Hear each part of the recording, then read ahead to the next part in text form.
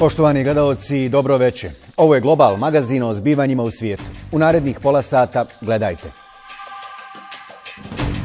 Analiza katarske krize. Kako riješiti spor koji je doveo do izolacije Katara. Zašto su Britanci na vanrednim parlamentarnim izborima kaznili premijerku Terezu May, čija je konzervativna stranka u parlamentu izgubila većinu? Zašto se vanredni parlamentarni izbori na Kosovu ocjenjuju kao najvažniji otkako je Priština proglasila nezavisnost?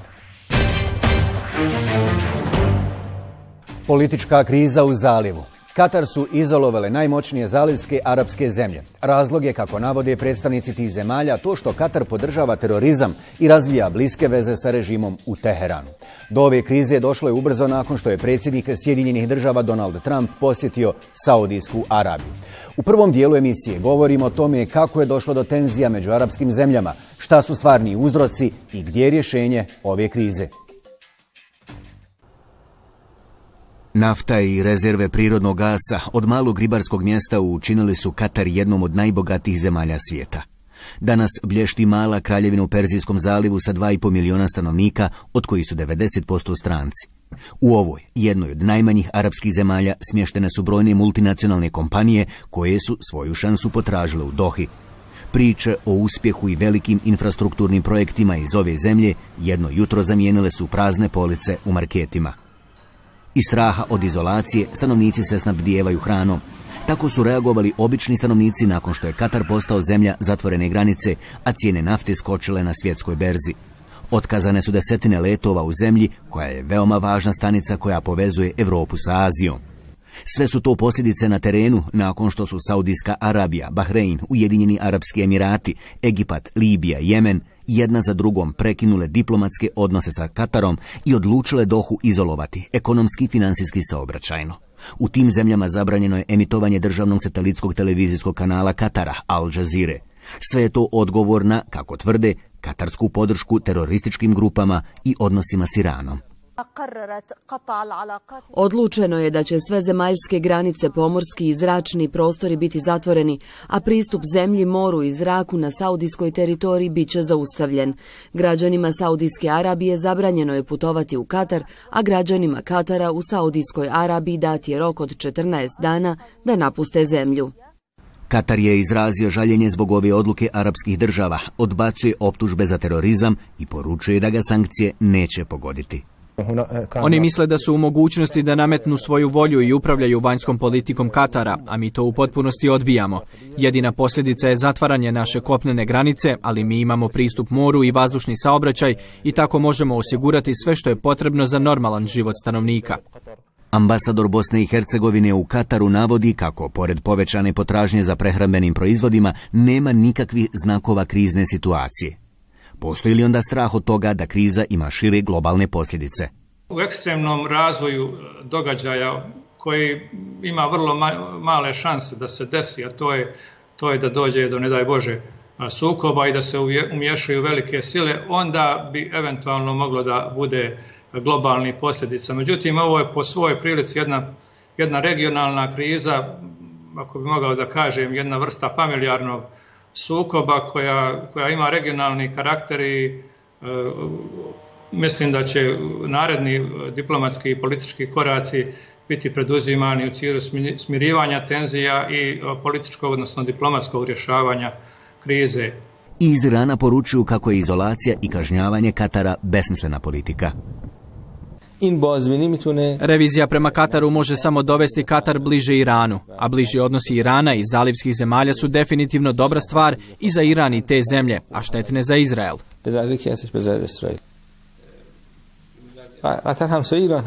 Katar je iranski susjed i nema razloga da želi imati tenzije sa Iranom.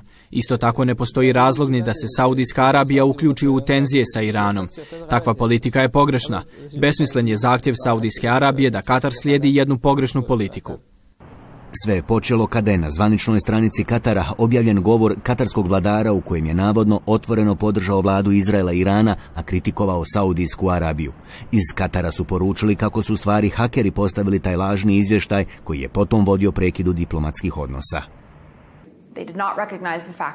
Oni jednostavno nisu htjeli prihvatiti da je bilo hakovanja i od tada je u medijima i u Ujedinjenim Arapskim Emiratima i Saudijskoj Arabiji uslijedilo antikatarsko raspoloženje. Potom su regionalni lideri kritikovali Katar zbog njegovog stava prema Iranu i muslimanskom bratstvu. U Kataru se desio e, diplomatski potres čiji, čiji je epicentar bio u susjednim državama to nije došlo spontano, to je bilo, e, nažalost, e, planirano.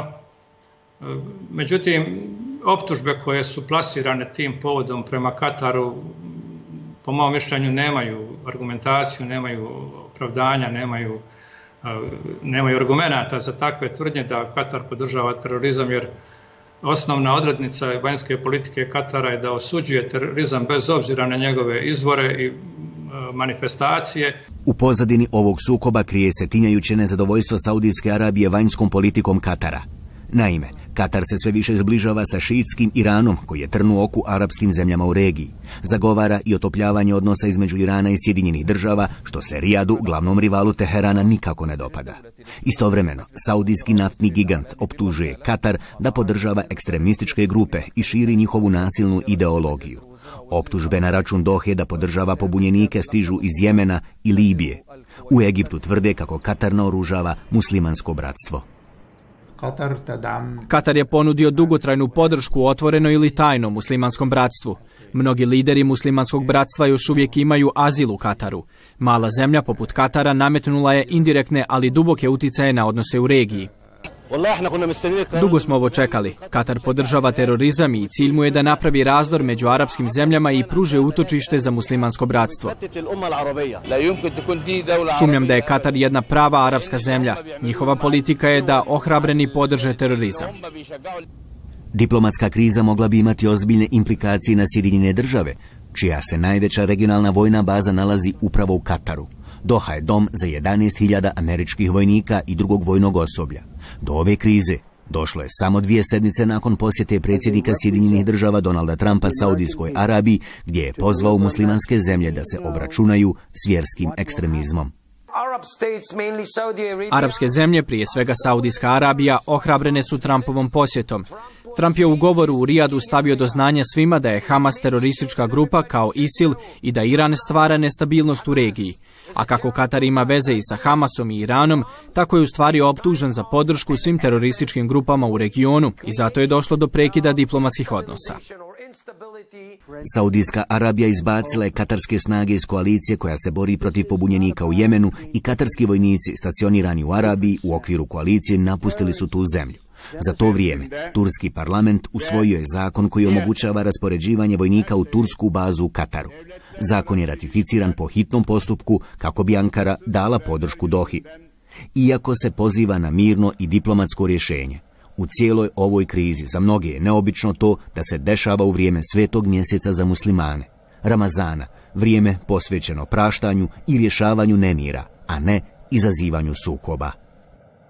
I dalje govorimo o katarskoj krizi. U studiju je gost profesor s Fakulteta političkih nauka u Sarajevu, Ešref Kenan Rašidagić. Dobro večer i dobrodošli u Global. Dobro večer, hvala na pozivu. E, zašto je Katar jedini označen kao zemlja koja podržava ekstremizam, terorizam u ovom regionu? Optužba koja bi se mogla adresirati na druge arapske države, malo kome su čiste ruke i zašto je upravo sada došlo do ove krize? E, korijen sukoba i korijen ove krize su želje Saudijske Arabije da bude jedini hegemon u regionu, njeno regionalno natjecanje sa Iranom kojeg vidi kao jedinog suparnika. Katar se tu već godinama izdvaja kao zemlja mala, bogata resursima koja želi da vodi svoju neovisnu vanjsku politiku koja se dosta često sukoblja s interesima Saudijske Arabije, bilo da je riječ o podržavanju suprotnih strana u E, sirijskom sukobu, želje za zgradnjom e, dobrih odnosa s Iranom ili na kraju kraja vrlo bitan faktor e, postojanja Al Jazeera kao jednog objektivnog medija kakvi ne postoje regioni koji je trnu oko već godinama Saudijska Arabija i njenim saveznicama. Je li ovo i naplata Kataru za podršku narodnim pobunama tokom arapskog proljeća? Pa između ostalog, kao sam već spomenuo, uloga Al Jazeera je shvaćena u dosta velikom broju autokratskih arapskih režima, pogotovo u absolutističkim monarhijama u, u, zaljevu, kao izravno pozivanje na promjenu i veću demokratizaciju tih sistema, što je za njih jedna crvena linija koju oni ne smiju prijeći i on se jednostavno sa tim scenarijem ovaj, nikada neće pomiriti i boje ga se u budućnosti. E, može li Katar pod pritiskom Saudijske Arabije, ali i Sjedinjenih država promijeniti kurs vanjske politike?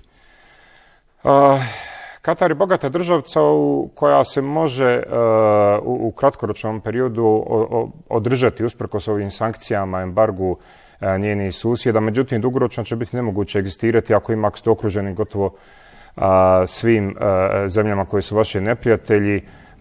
Međutim, ovdje je potrebno razlučiti ulogu Saudijske Arabije i ostalih zemalja za saradnju u zalivu, a i Sjedinje američke države. Sjedinje američke države nisu izravno uključene u ovakvu neku situaciju, nego su jednostavno propustile da budu uključene zahvaljujući tome što od dolaska predsjednika Trumpa na vlast nemaju definiranu svoju vanjsku politiku nigdje pa ni u ovom regionu, a u zbog toga je jednostavno došlo jednog vakuma kojem je Saudijska Arabija protumačila nedavno posto predsjednika Trumpa Rijadu i poziv na jedinstvo a, sunitskih e, muslimana pod voćom Saudijske Arabije kao zelenu kartu da radi što hoće u regionu. Međutim, Sjedinje američke države također imaju jako velike i bitne sigurnosti interese u samom Kataru. Imaju također interes da u regionu, u zaljevu ne dođe do izbijanja nove krize i one su jednostavno sada u situaciji da pokušavaju gasiti vatru e, koja je već izbila i ne podržavaju oni potpunosti Saudijske Arabije u njenoj avanturi. E, Turska je pružila otvorenu podršku u Kataru. Može li e, zbog takve politike ugroziti svoje odnose sa zalivskim zemljama? Znamo da Turska ima veoma dobre odnose sa ovim zemljama. Definitivno, definitivno. Se ovdje otvoreno svrstala na stranu Katara i sa tim je ugrozila odnose sa cijelim nizom zemalja, regiona. Turska opet ima jedan svoj veliki broj problema, između ostalog i vanjskoj politici, tako da je mislim u ovoj situaciji ovdje vidjela šansu da izgradi odlične odnose koji su već dobri, ali da unaprijedi odnose sa Katarom koji je neobično bogata zemlja od kojega Turska može imati velike koristi, a odnosi sa drugim zemljama, ne svim, ali nekim zemljama poput recimo Egipta su već odavno narušeni zbog podrške predsjednika Erdoana muslimanskoj braći prilikom ovaj, izbora, jedini demokratskih izbora koji su ikada bili u Egiptu i tako dalje. Tako da, ja. Može li izolacija Katara ugroziti vojne operacije Sjedinjenih država? Znamo da u toj zemlji su stacionirane oko 10.000 američkih vojnika i vojnog osoblja. Ne samo da stacionirane, stacionirane te trupe, nego je Katar zapravo centar operacija za kompletno područje Bliskog istoka. Znamo kako to važnost ima u u, u vanjskoj policiji, sigurnosnoj policiji Sjedinje američkih država. Upravo iz tog razloga, kažem, Sjedinje američke države, nažalost, su u jednoj situaciji gotovo nezamislivo unazad, unazad par mjeseci u kojoj nemaju definiranu vanjsku politiku i svoje jasne interese koje štite u tom regionu. Međutim, ti interesi su sada ugroženi i svjedoci smo da se u proteklih par dana kompletan vojni e, i diplomatski establishment Sjedinje američke država digao da na neki način pokuša limitirati tu štetu jer im je Katar neobično bitan iste sigurnosne vizure i mislim da će to igrati vrlo bitnu ulogu u eventualnom razrješenju krize i traženju kompromisa sa, sa Saudijskom Arabijom. I za kraj da zaključimo, može li se ubrzo očekivati rješenje krize? E, Kuvajt koji se javio kao medijator e, saopštio je da je Katar spreman saslušati države u Perzijskom zalivu. Moja neka prognoza u samom početku ove krize bilo je da će Katar na posljedku biti primoran da napravi neku vrstu kompromisa. Kakva će to vrsta kompromisa biti i na čiju će štetu ići, to ovisi najvećim dijelom sada momentalno od jačine akcije djelovanja Sjedinje američke država. Tu nisam neki optimista da će Sjedinje američke države pretirano uključiti jer je njihova vanjska politika zadnjih mjeseci u, haosu. Nažalost, to, je, to, je, to je zemlja koja sada ponaša više nekako na razini neki banana država nego, nego kao jedna svjetska supersila. A sa druge strane, taj pritisak bi trebao biti izvršen na Saudijsku Arabiju koja je ključ cijelog problema. Saudijska Arabija bi trebala malo reterirati, a da li će to biti moguće? Jako teško jer je e, Saudijska Arabija ohrabrena, kažem opet Trumpovim posjetom i riječima o Rijadu, neki način shvatila da ima zelenu kartu, zeleni karton da se ponaša kako hoće. I jako puno štete je napravila, jako puno poteza napravila ovih proteklih par dana koje će biti jednostavno nemoguće povratiti, nemoguće zaboraviti bez da izgubi kompletno obraz i, svoju neku reputaciju i regione. Tako da su sve zemlje ovdje otišle previše daleko i vrlo teško prognozirati, kažem. e, snažan pricak Sjedinje američke države na Saudijsku Arabiju, eventualno neki kompromis koji će u svakom slučaju opet ići na štetu Katara, ali pitanje do koje mjere. Jer je Katar tu neusporedivo slabija ovaj, strana usporedbi sa Saudijskom Arabijom njenim saveznicama. Hvala vam mnogo na ovom gostovanju. Hvala vam na pozivu. Na vanrednim parlamentarnim izborima u Velikoj Britaniji konzervativci premijerke Tereze May izgubili su većinu.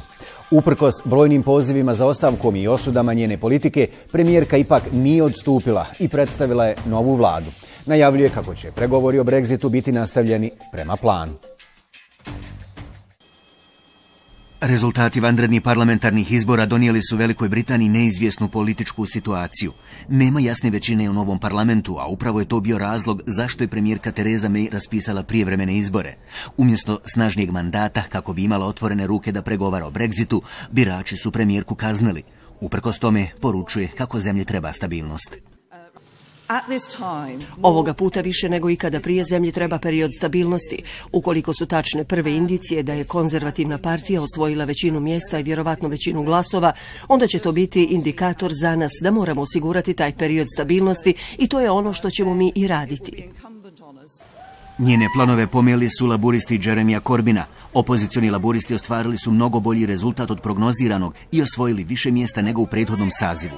Korbin je odmah pozvao Terezu May da podnese ostavku. Ipak ona je to odbila i predstavila je novu vladu. Premijerka je sazvala ove izbore zato što je željela mandat. Izgubila je konzervativna mjesta, izgubila je glasove, podršku i povjerenje. To je dovoljno da ode i prepusti mjesto vladi koja je zaista reprezentativna.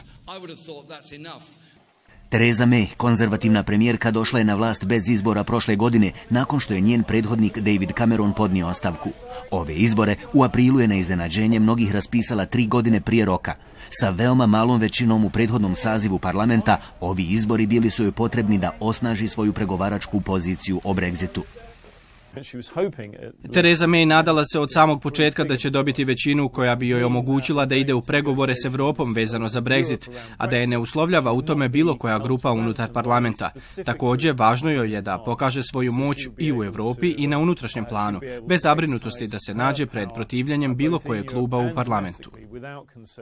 Kada je Tereza May pozvala na izbore, izgledalo je da je pobjeda njenih konzervativaca neupitna. Ipak, razlika u prednosti između konzervativaca i laburista drastično se smanjila u oči izbora. Sve je pomalo u haosu. Nadao sam se rezultatu kakav su ankete predviđale i da ćemo imati malo mira u Westminsteru, ali izgleda da će biti zbrke. Mislim da je najbolje da ostane na vlasti. Ako ona bude išla u Brisel, to će biti bolje za Veliku Britaniju. Pored Brexita, Britance najviše zanima kako će nova garnitura na vlasti rješavati pitanja nacionalne zdravstvene službe, imigracije i ekonomije. Ipak, pitanje sigurnosti se nametnulo kao jedno od prioriteta. Dva teroristička napada desila su se u jeku predizborne kampanje. Tri napada za manje od tri mjeseca. Zbog tih napada i Tereza May se našla na udaru kritika laburista zbog rekordnog smanjenja sredstava za policiju. Ono što sada moramo uraditi je da u vrijeme dok se prijetnja povećava priznamo da moramo osigurati i prilagoditi naš dogovor prijetnji. Zbog toga ja ću razmotriti davanje širih ovlasti policiji i snagama sigurnosti, veće kazne za osobe povezane s terorističkim aktivnostima i bolju borbu protiv online ekstremizma. Mi u potpunosti razumijemo zabrinutost naroda. Bili su ovo izbori koje većina ljudi nije željela. Britanci pomalo umorni jer su drugi put u dvije godine izlazili na parlamentarne izbore, a u međuvremenu su održani lokalni izbori te referendum o Brexitu. Ostrvljane, koji su se u posljednje vrijeme suočili s brojnim izazovima, sada očekuju novi, da premijerka Tereza May, koja se suočava sa nezadovoljstvom i u vlastitim redovima, obezbijedi bolju sigurnost i na pravi način vodi zemlju u pregovorima o Brexitu, a koji počinju 19. juna. Putem Skype-a idemo do Londona. S nama je profesor međunarodnih odnosa i ljudskih prava, dr. Neven Anđelić. Dobro večer i dobrodošli u Global. Dobro večer vama želim. Hvala. Zašto su Britanci na vanrednim parlamentarnim izborima kaznili premijerku Terezu May, čiji su konzervativci izgubili većinu u parlamentu? Pa otprilike to se može svesti na to da tradicionalni dio koji podržava laboriste ostao uz laboriste i značajan dio novih glasača, mladih glasača uspio biti mobiliziran od strane laborista da glasaju po prvi put ili da ponovno izađu na izbore ukoliko su to nekada već uradili, a sad su možda u nekim srednjim 20. kasnim 20. godinama. To bi ukratko bilo rečeno. Također, zemlja, nacija je podijeljena što se tiče Brexita, da li izaći, na koji način izaći iz Europske unije. Kada su pitani prošle godine da li žele izaći iz Europske unije, nije bilo spominjano izaći na ovako tvrdi način, radikalan način kao što je Tereza May namjeravala uraditi sa svojom vladom. Znači, to su neka dva bitna razloga zašto su glasači potencijalno kaznili Terezu May. Britanska premijerka Tereza May predstavila je svoju novu vladu u kojoj je samo nekoliko promjena što je odraz njene oslabljene pozicije. Imamo čak pobunu u njenoj konzervativnoj stranci. Zbog svega toga mnogi tvrde kako je samo pitanje vremena koliko će se Tereza May održati. E, mogu li se u stvari očekivati novi izbori što priželjkuju laburisti? Ja lično očekujem da, da, da ona neće prezimiti, a sada kada, vjerovatno ne tokom ljeta, zna kada će biti parlamentarna pauza, već od jeseni pa nadalje bit će vrlo živo. U međuvremenu početi će ti pregovori sa Europskom unijom, mada ne očekujem velike odmake u tim pregovorima prije nego što se stabilizira vlast u Velikoj Britaniji. Znači, vrlo važan komitet 1922, komitet konzervativne partije, je putem kojeg se može smijeniti premijerka, a to znači da 15% o, poslanika konzervativne partije treba poslati pismo sa zahtjevom za smjenu čelniku predsjedavajućem tog komiteta i tada počinje procedura. Znači to je jedan moment koji je doživjela recimo Margaret Thatcher 1990. godine i to je jedna mogućnost unutar konzervativne partije e, da, da se pokrene njena e, smjena. Da li će ona doći sa desnice konzervativne partije, znači ultradesnice za vrlo radikalan raskid sa Europskom unijom ili sa liberalnog krila e, konzervativne partije koja bi željela željela neki e, dogovor sa Europskom unijom, iako i dalje naravno izaći iz Europske unije na osnovu odluke referendumu, na referendumu prošle godine, to je pitanje unutar stranačkih podjela i, i snaga. Laburisti naravno žele nove izbore, pitanje je da li bi oni uh, pobjedili na izborima jer pored velikog uspjeha ne zaboravimo da oni su ipak izgubili ove izbore. Brisel je dakle zabrinut nakon ovih rezultata i situacije u Britaniji. Ipak Tereza May, iako oslabljena, potvrdila je da pregovori o Brexitu počinju za dvije sedmice kao što je planirano. Kako će se u stvari ovi rezultati izbora odraziti na pregovore?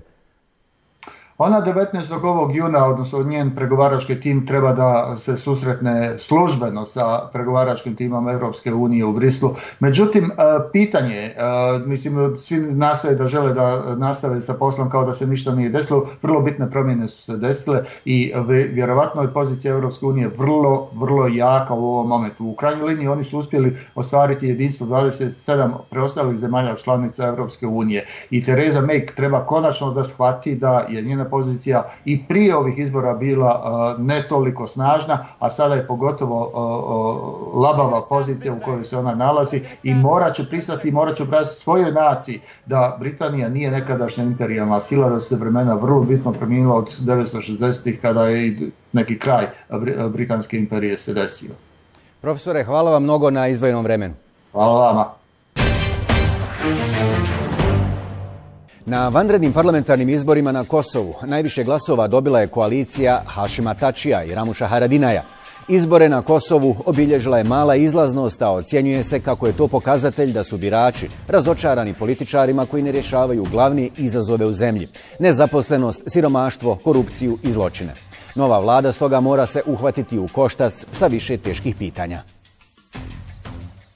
Slavlje na ulicama većih kosovskih gradova u nedjelju neveče počelo je prije objavljivanja preliminarnih rezultata Centralne izborne komisije.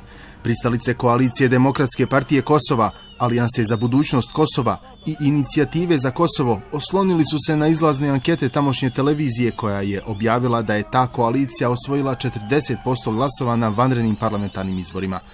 Nisu mnogo pogriješili, 34% glasova osvojila je koalicija koju predvodi Ramuš Haradinaj, bivši premijer Kosova. Na ovim izborima ponovo je kandidat za predsjednika vlade. Čestitam Kosovu na ovim izborima. Znamo da je mnogo posla pred nama, ali ćemo zajedno sve to ostvariti. Još jednom čestitam na našoj pobjedi.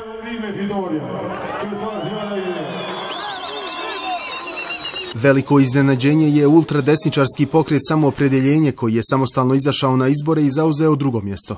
I oni su slavili ulicama Prištine tvrdeći da su postali najveća stranka na Kosovu po broju dobijenih glasova, ne računajući koalicije. Stranka premijera Ise Mustafe, Demokratski savez Kosova, kojemu je izglasano nepovjerenje zajedno sa koalicionom Demokratskom partijom Kosova Hašima Tačija, zauzela je treće mjesto. Rezultati s terena pokazuju da smo se udvostručili. Za nas je glasalo između 33 i 34 posto birača. Mi smo politički subjekt sa najviše dobijenih glasova na Kosovu. Građani Kosova su se odlučili na promjene i samoopredjeljenje će provesti te promjene. Koaliciji PDK, AAK, NISMA bit će potrebna podrška manjinskih zajednica kako bi formirali većinu. Deset mjesta zagarantovano je manjinama, isto toliko predstavnicima Srba. Srpska zajednica na Kosovu izbore je shvatila veoma ozbiljno. Velika izlaznost zabilježena je u opštinama na sjeveru Kosova, gdje većinom žive Srbi. Pet srpskih lista izašlo je na izbore, ali je ubjedljivu pobjedu odnijela srpska lista, koju podržava vlada Srbije. Srbi su na ovim izborima osvojili i više glasova nego ikada do sada, što pokazuje da Srba na Kosovu i Metohiji ima mnogo više nego što to tvrde pojedini albanski političari. Kako sada stvari stoje, vrlo je moguće da ni formiranja nove vlasti u Prištini neće biti bez srpske liste. Pred srpskom listom je izbor da li ući u vlast sa koalicijom u kojoj se nalazi stranka bivšeg komandanta oslobodilačke vojske Kosova. Haradinaja na ime vlasti u Beogradu traže zbog sumnje umješanost u ratne zločine nad srpskim civilima na Kosovu 1998. i 1999. godine. Da li će ući u e, koaliciju sa e, Ramušom Haradinajem, a slušajte, to je politika, u politici se uvijek se, e, sve može. Ostaje vidjeti kako će, kako će se stvari odvijati i da li će, koliko će trebati vremena da se napravi nova vlada. Procjenjuje se da su ovi izbori za Albance bili veoma važni s obzirom na to da je tokom 17 godina vladavine Hašima Tačija i Ise Mustafe kosovsko društvo ogrezlo u kriminalu, korupciji i nepotizmu. Poštovani gledalci, to je sve u ovom globalu. Hvala vam što ste bili s nama i ovog ponedjeljka. Lijep pozdrav!